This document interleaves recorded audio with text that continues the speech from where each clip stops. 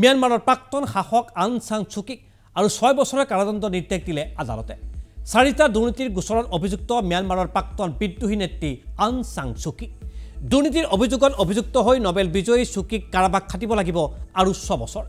এই নিৰ্দেশ ম্যানমাৰৰ আদালতৰ।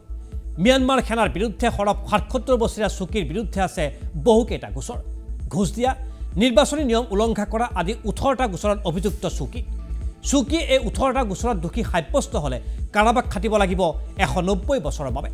বিগত মাহত এটা দুৰ্নীতিৰ গোচৰৰ বাবে চুকিক পাঁচ বছৰৰ কাৰাদণ্ড নিৰ্দেশ দিছিল সন্মানীয় আদালতে। আৰু ইয়াৰ পাছতেই সোমবাৰে আৰু ছবছৰৰ বাবে কাৰাবাসৰ শাস্তি বিহিলে চুকিক অৱশ্যে ম্যানমাৰৰ প্ৰাক্তন শাসকগৰাকীয়ে খণ্ডন কৰিছে সমগ্ৰ অভিযোগ। দুহেজাৰ বিছ চনত চুকি national league for democratic party বিপুল ভোটত জয়ী হৈ ম্যানমাৰৰ শাসনৰ গাদীত বহিছিল। কিন্তু শাসনৰ এবছৰ যোৱাৰ পাছতেই অৰ্থাৎ দুহেজাৰ একৈছ চনত চুকি আৰু সহযোগীক গ্ৰেপ্তাৰ কৰিছিল দেশখনৰ সেনাবাহিনীয়ে চুকিক ক্ষমতাচ্যুত কৰি শাসনৰ গাদীত বহে সেনাবাহিনী। আৰু ইয়াৰ পাছতেই চুকিৰ সমৰ্থকে দাবী কৰে যে অবৈধভাৱে সেনাই গ্ৰেপ্তাৰ কৰিছে তেওঁলোকৰ নেত্ৰীগৰাকীক। চুকিক গ্ৰেপ্তাৰক বৈধ প্ৰমাণিত কৰাৰ বাবে বিভিন্ন অভিযোগ উত্থাপিত হৈছিল চুকিৰ বিৰুদ্ধে। এই অভিযোগ দেশখনৰ প্ৰাক্তন মুৰব্বী সমৰ্থকৰো। অৱশ্যে বৰ্তমানো চুকিৰ সপক্ষে দেশখনত গঢ়ি উঠিছে ব্যাপক জনসমৰ্থন।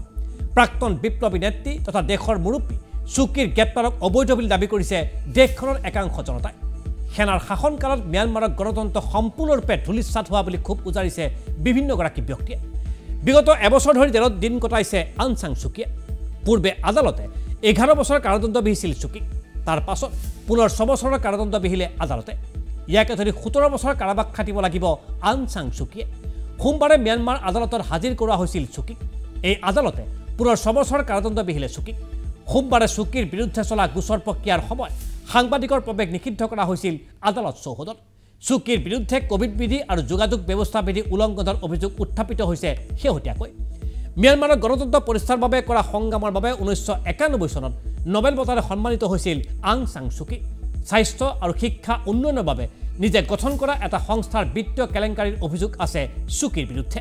আৰু সেইবাবেই বৰ্তমান চুকি কাৰাগাৰৰ অন্ধ কোঠৰীত বাস কৰিবলগীয়া পৰিৱেশৰো সৃষ্টি হৈছে।